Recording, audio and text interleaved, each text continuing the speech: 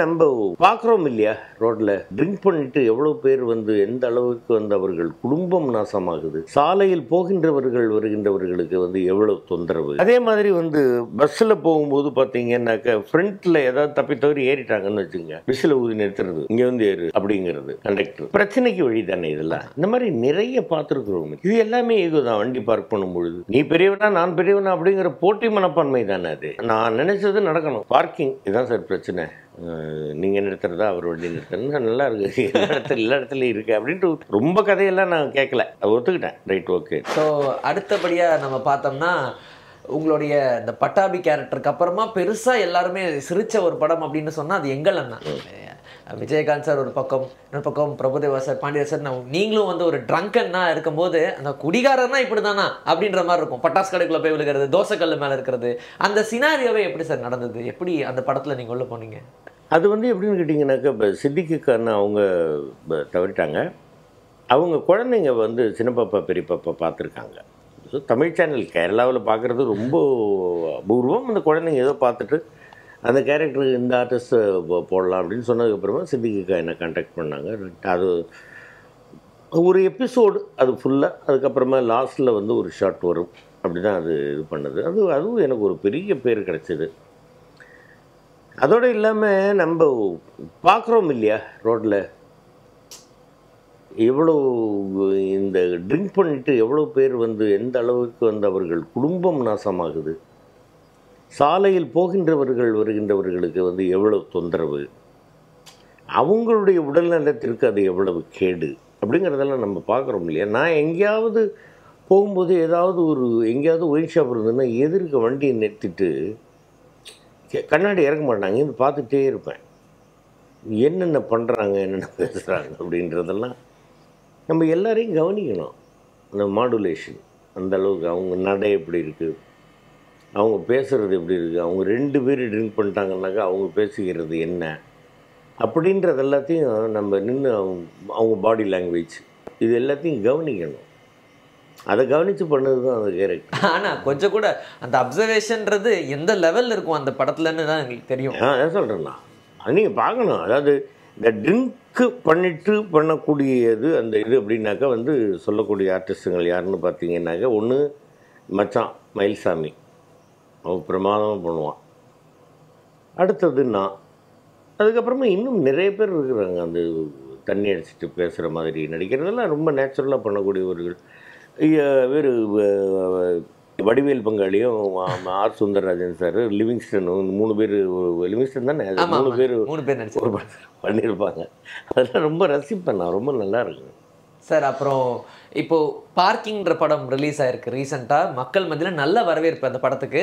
அந்த படத்துக்கான கோர் என்ன அப்படின்னா எங்கள் வீட்லேயும் அந்த பிரச்சனை நடக்குது சார்.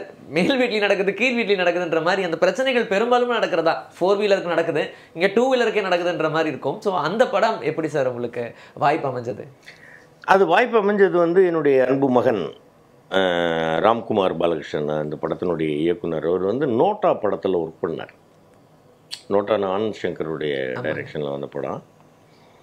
விஜய் தேவர்கொண்டா ஆக்ட் பண்ணார். சத்யராஜ் அண்ணா ஆக்ட் பண்ணாங்க. நான் அதில் அந்த படத்தில் ஒரு அசிஸ்டண்ட்டாக இருந்தாப்புல தம்பி.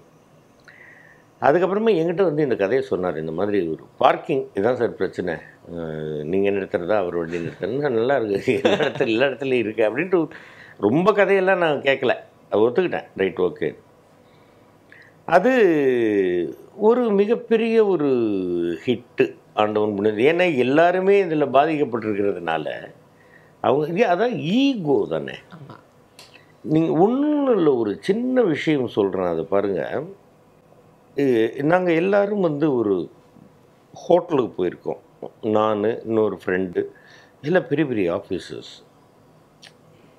ஏ அவரும் வந்த கூட வந்தவரும் அவரும் எல் எல்லாரும் ஃப்ரெண்ட்ஸ் தான். அதுலேயும் அவரும் ஒரு பெரிய ஆஃபீஸர் பெரிய ஃபேமிலி ஹோட்டலுக்கு போய் சாப்பிடும் பொழுது உட்காந்துருக்கிறாரு புதினா சட்னி விடு அப்படின்னார். சரி.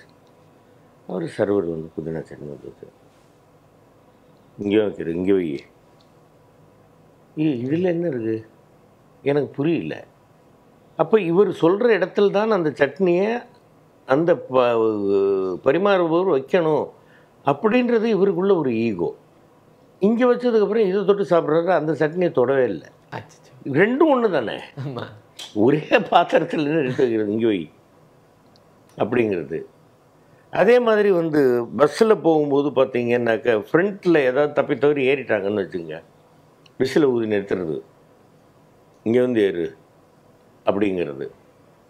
கண்டக்டர் சரி ஏறிட்டாரு. இங்கே வாப்பா டிக்கெட் வாங்கிக்கப்பான்னா சரியாக போச்சு. நிறுத்தி ஊதி நிறுத்தி இங்கே வந்து ஏறு. அப்படிங்கிறது. அவன் ஏன் நீங்கள் வரமாட்டியா? ஐயா. பிரச்சனைக்கு வழி தானே இதெல்லாம். இந்த மாதிரி நிறைய பார்த்துருக்குறோம் இல்லையா? இது எல்லாமே ஈகோ தான். வண்டி பார்க் பண்ணும் பொழுது. நீங்கள் அங்கே நிறுத்துறீங்க உங்கள் பார்க்கிங் எது? இது இது வந்தங்க. அவசரமாக நிறுத்தி விட்டங்க. என்னங்க பண்ண சொல்லுங்கள் இப்போ கேட்டுக்கு முன்னாடி நிறுத்தினா தப்பு. இன்னொரு வண்டி எடுக்க முடியாது வெளியில். அப்படிங்கிறதெல்லாம் ரைட்டு ஒத்துக்கலாம். எங்கேயோ ஒரு இடம் டக்குன்னு போகும்போது நிறுத்திட்டு நிறுத்தி இறங்கி போகிற வரைக்கும் பேசாமல் இருந்துட்டு அப்புறம் வாட்ச்மேன் சார் வண்டி இங்கே நிறுத்தக்கூடாதுங்கிறது. அங்கே கொண்டு போய் நிறுத்துங்க. என்னென்னா நான் சொல்வதே அவர் கேட்கணும் நிறுத்தி இறங்கி வரட்டும். அப்புறமா சொல்லுவோம்.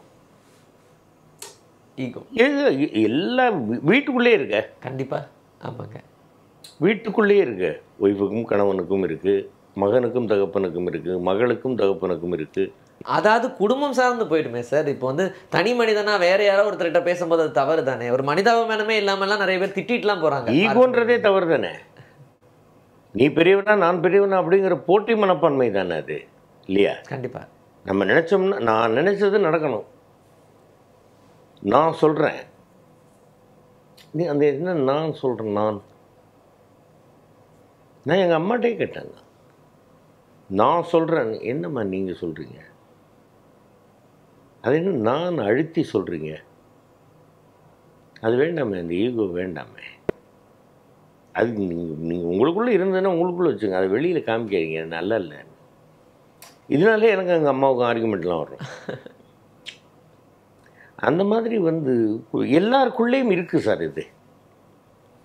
எல்லாருக்குள்ளேயும் இருக்குது அது வெளிப்படும் பொழுது அது யாரை எந்த அளவுக்கு பாதிக்குது அப்படிங்கிறது தான் இந்த படம். கண்டிப்பா. அதை ராம்குமார் பாலகிருஷ்ணன் ரொம்ப அழகாக வந்து அதை ஸ்க்ரீன் ப்ளே பண்ணி அதை வந்து இப்போ ப்ரொடியூசர்ஸ் திரு சுதன் சுந்தரம் அவர்களும் சினீஷும் அதுக்கு வந்து கரெக்டான ஒரு ஹீரோ வந்து ஹரிஷ் கல்யாண் அன்பு மகன் அப்படின்னு அவரையும் கூப்பிட்டு எனது மகள் இந்துஜாவை வந்து ஹீரோயின்னு சொல்லி எல்லாத்துக்கும் சொல்லி வீட்டு ஓனராக என்னுடைய அருமை மைத்துன் இளவரசுவை கூப்பிட்டு நாங்கள் எல்லோரும் ஒரு இதுவாக அதாவது ஒரு ஈகோவான படத்தை இது இப்படி சொல்லிக்கலாம் அதை அப்படி சொல்லிக்கலாம் அப்படின்னு எங்களுக்குள்ள கலந்துரையாடி ஈகோவே இல்லாமல் எடுத்த படம் அடடா சூப்பர்.